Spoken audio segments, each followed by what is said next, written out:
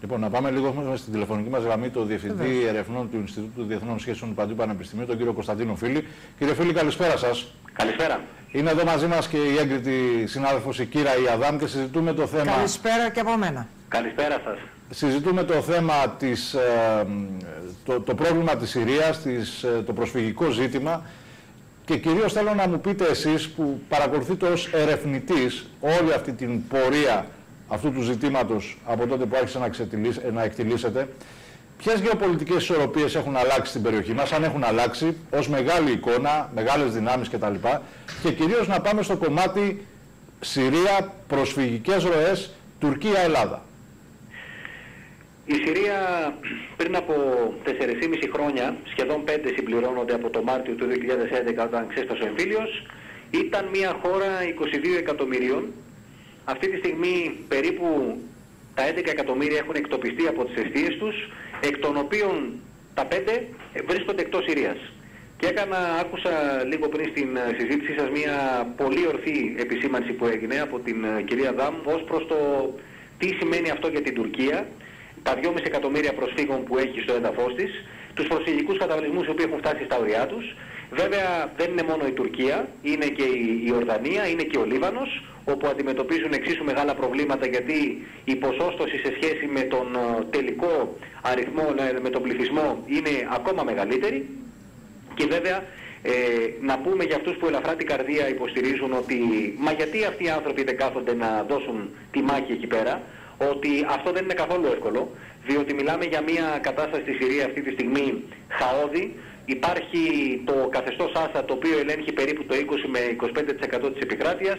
Υπάρχει το κουρδικό στοιχείο το οποίο προσπαθεί να περιχαρακώσει το δικό του χώρο ε, έτσι ώστε την επόμενη μέρα να ε, διασφαλίσει ότι θα έχει μια ε, αυτόνομη πορεία μέσα στη Συρία αν και εφόσον η Συρία βέβαια δεν διαμελιστεί, κάτι το οποίο φαίνεται αρκετά πιθανό σήμερα.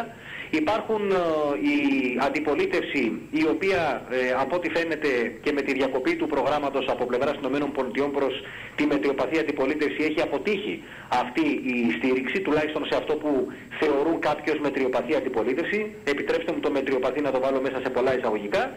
Έχουμε τον ISIS που είναι η μόνη δύναμη που αυτή τη στιγμή ε, επελάβνει και ε, η οποία έχει ουσιαστική κυριαρχία σε ένα σημαντικό κομμάτι της χώρας και υπάρχουν επίσης και διάφορες πολιτοφυλακές οι οποίες ε, είναι σουνητικές ως επιτοπλίστων και οι οποίες ελέγχουν επίσης με τη σειρά τους διάφορα σημεία της, της χώρας και η συνεννόηση βέβαια με ορισμένες εξ, αυτούς είναι, με ορισμένες εξ αυτές είναι ε, σχετικά ε, ομαλή, σε άλλες περιπτώσεις δεν υπάρχει κανένας είδους ε, συνεννόηση. Θέλω να πω δηλαδή και σας περιγράφω πολύ σύντομα ναι, ναι. σε αντρές γραμμές πώς έχει η κατάσταση στο εσωτερικό της χώρας. Από εκεί και πέρα... Να δούμε λίγο ναι. στην κλίμακα κόστους ωφέλους για τις μεγάλες δυνάμεις αλλά και βεβαίως για τις χώρες της περιοχής, ειδικά Ελλάδα-Τουρκία, να βάλουμε λίγο τα, τα κουτάκια, να τα βάλουμε σε μια σειρά. Μέχρι στιγμής, τι έχουμε, ποια είναι τα κόστη, ποια είναι τα ωφέλη για αυτούς που εμπλέκονται σε αυτό το παιχνίδι άμεσα ή έμεσα; Εγώ θα αυτό το πρόβλημα. Από, τη δική μου οπτική, η οποία προφανώς έχει και το ανθρωπιστικό στοιχείο, δεν μπορώ να δώσω αυτό το οποίο εξελίσσεται στη Συρία κανένα όφελος. Ε, θεωρώ ότι όλοι ζημιώνονται. Ε, προφανώς γίνεται ένας πόλεμος για αντιπροσώπων, αυτό που λέμε στην, ε, στις διεθνείς σχέσεις proxy wars, ε, και αυτό βέβαια δεν έχει να κάνει μόνο με τις μεγάλες δυνάμεις, δηλαδή οι Ηνωμένες Πολιτείες και Ρωσία, έχει να κάνει κατά κύριο λόγο με τις μεγάλες περιφερειακές δυνάμεις που είναι το Ιράν και η Σαουδική Αραβία.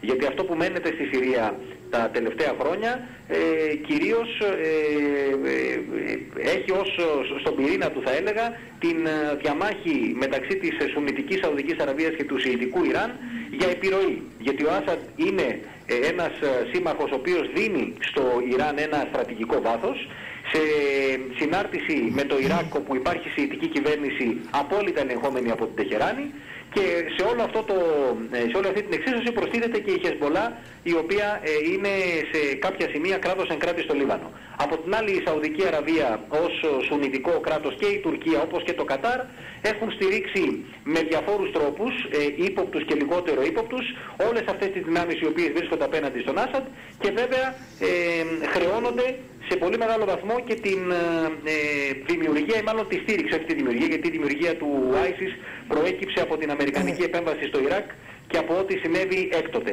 Αλλά χρεώνονται ε, αυτές οι τρεις χώρες, κατά κύριο λόγο η Σαουδική Αραβία και η Τουρκία, μία στήριξη λιγότερο ή περισσότερο διακριτική προσέφεραν στα τρομοκρατικά στοιχεία που τώρα όλοι θέλουμε να πολεμήσουμε υποτίθεται από κοινού. Κύριε Φίλη, να, να μικρύνουμε λίγο την εικόνα να επικεντρωθούμε στις προσφυγικές ροές που θα είναι το πρόβλημα των επομένων ετών, νομίζω να συμφωνείτε σε αυτό, και να μικρύνουμε την εικόνα ανάμεσα στην Ελλάδα και στην Τουρκία. θεωρείτε ότι αυτή τη στιγμή το ισοζύγιο έχει σαφέστατα κλείνει υπέρ της Τουρκίας; Πρώτον για τη σχέση της, την, την, την ενίσχυση, την αναθέρμανση των σχέσεών της με την Ευρωπαϊκή Ένωση με αφορμή το προσφυγικό και που είναι και ουσιαστικό πρόβλημα και αυτό θεωρείται ότι ε, δρά υπέρ των δικών μας συμφερόντων ή κάπου στο βάθος θα έχουμε κάποια προβλήματα.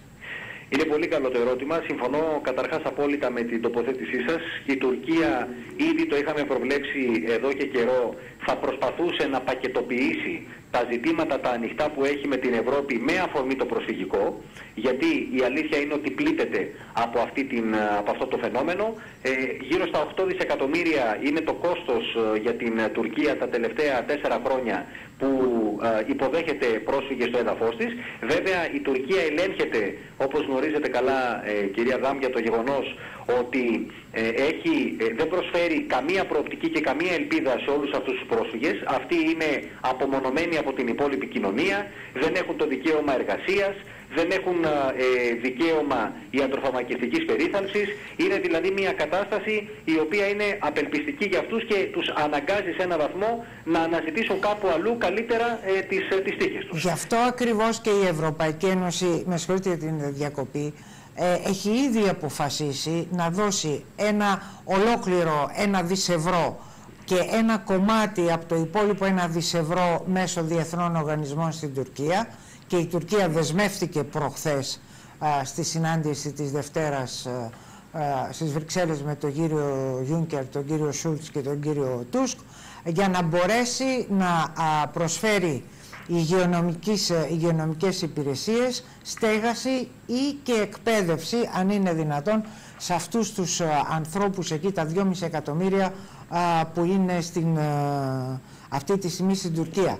Βέβαια, συμφωνείτε ότι η Τουρκία για αυτή την προσέγγιση με την Ευρωπαϊκή Ένωση έχει πάρει και κάποια ανταλλάγματα, έτσι δεν είναι; Έτσι είναι. Γι' αυτό κιόλας ε, είπα στο, στην απάντηση στο ερώτημά σας ότι προσπαθεί να πακετοποιήσει μία σειρά από ζητήματα με αφορμή και με ε, άλοθη με επίκληση του το, το προσφυγικό ζήτημα. Ε, και εδώ είναι και ο κίνδυνος. Δηλαδή θα πρέπει η Ελλάδα ε, να μην είναι καθόλου εφησυχασμένη για το γεγονός ότι η Άγκυρα έτσι κι αλλιώς είναι η πάγια πολιτική της στη λογική του ανατολίτικου παζαριού που ακολουθεί ε, παραδοσιακά προσπαθεί πάντα με αφορμή ένα θέμα στο οποίο είναι χρήσιμη για τους εταίρους της, είτε αυτός λέγεται Ηνωμένες Πολιτείες είτε λέγεται Ευρωπαϊκή Ένωση, να ε, βάλει μέσα, ε, να ενσωματώσει και άλλα ζητήματα τα οποία δεν έχουν να κάνουν με το ίδιο αυτό το θέμα, προκειμένου να ενισχύσει τη θέση της σε μια σειρά από άλλα μέτωπα. Επιχείρηση επί παραδείγματι να το κάνει αυτό με τους Κούρδους σε σχέση με τη στήριξη την οποία προσφέρει στις Ηνωμένες Πολιτείες και τους συμμάχους της ε, ως προς τον ISIS. Δεν το έχει καταφέρει, η αλήθεια είναι αυτό. Και επίσης είναι αλήθεια ότι η Τουρκία, παρά το γεγονός ότι θα μπορούσε να βγει ενισχυμένη από αυτή την κρίση προς το παρόν οι βλέψεις και οι σχεδιασμοί της σε σχέση με τη Συρία πάντα, δεν μιλάω σε σχέση με τη χώρα μας, ε, έχουν, ε, δεν έχουν υλοποιηθεί. Τίποτα από όλα αυτά τα οποία έθεσε αρχικά ως στόχους δεν έχει εκπληρωθεί και δεν φαίνεται να εκπληρώνεται τουλάχιστον στο προβλεπτό μέλλον. Αλλά ως προς τη χώρα μας πράγματι ε, υπάρχει εδώ πέρα ένα ζήτημα. Ε, πρέπει να ε, δούμε η Τουρκία τι ακριβώς είναι αυτό το οποίο επιθυμεί, δηλαδή το άνοιγμα ίσως κάποιων κεφαλαίων, θα θελήσει να δει κάποια άλλα ζητήματα σε σχέση με την Ευρωπαϊκή Ένωση και βέβαια ένα θέμα που δεν πρέπει να ε, διαφεύγει της προσοχής μας έχει να κάνει με το ζήτημα που ε, η Τουρκία θέτει και τέθηκε και από την καγκελάριο Μέρκελ, δηλαδή για την φύλαξη των συνόρων.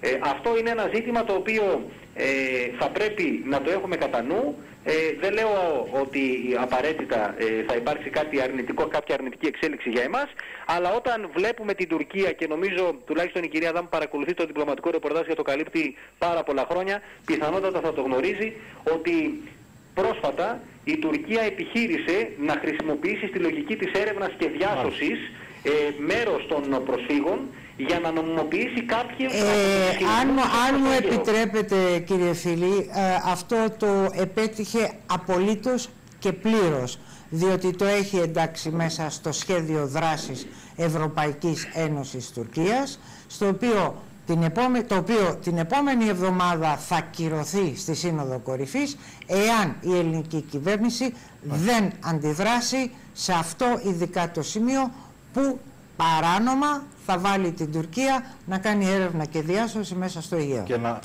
Κύριε Φίλη, Ναι. να βάλουμε μια τελεία, μας πιέζει και ο χρόνος και όλα. Σας ευχαριστώ πάρα πολύ για την ε, συμμετοχή στην απόψινή εκπομπή. Εγώ ευχαριστώ καλό βράδυ. Να είστε καλά, καλό σας βράδυ.